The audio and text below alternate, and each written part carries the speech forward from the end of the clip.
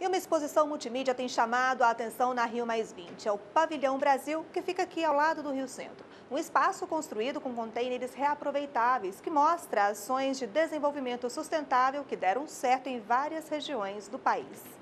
O Pavilhão Brasil ocupa uma área de 4 mil metros quadrados. A construção foi orientada pela ideia da sustentabilidade. Isso quer dizer que os recursos naturais foram usados de forma racional. O pavilhão foi construído para mostrar ao mundo a evolução nos últimos 20 anos das experiências brasileiras que unem desenvolvimento econômico com inclusão social e respeito ao meio ambiente. Nós temos muitas coisas que foram feitas, projetos e programas muito bem sucedidos. Tudo isso poderá ser visitado por um público enorme durante todo esse, esse período de Rio Mais 20. Sim, o Brasil é hoje uma referência, sim. Eu acho que é, é, nós temos muito, nós fizemos muito e agora estamos mostrando. E também antecipando tendências. Estamos trabalhando com um cenário futuro. A estrutura tem uma arena central. Em volta dela, seis espaços como aquele, feitos com contêineres que vão voltar a ser utilizados no transporte de carga depois que o pavilhão for desmontado no dia 24 de junho. E aqui quatro exposições dedicadas a programas de inovação, tecnologia sustentável e inclusão social. O algodão naturalmente colorido da Embrapa gera renda para agricultores familiares do Nordeste e não polui o meio ambiente. Isso porque ele não precisa de corantes químicos que são tóxicos e poluentes. A Embrapa colocou o produto no mercado brasileiro há mais de uma década, mas ele ainda é novidade para muita gente. É de balão aqui embaixo. Acho que é concreto.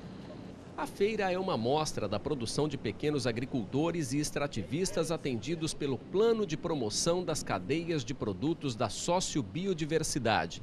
O plano facilita o acesso ao crédito para comunidades rurais e incentiva a aplicação de tecnologias que respeitam os sistemas de organização social e valorizam os recursos naturais e as práticas tradicionais. Nas quatro exposições, o visitante que tem um smartphone pode receber mais informações pelos chamados QR Codes. Aqui dentro, o espaço é utilizado para seminários, reuniões, debates e outros eventos. Tem arquibancadas para 120 pessoas e telões que exibem vídeos. E foi aqui a cerimônia de inauguração do Pavilhão Brasil.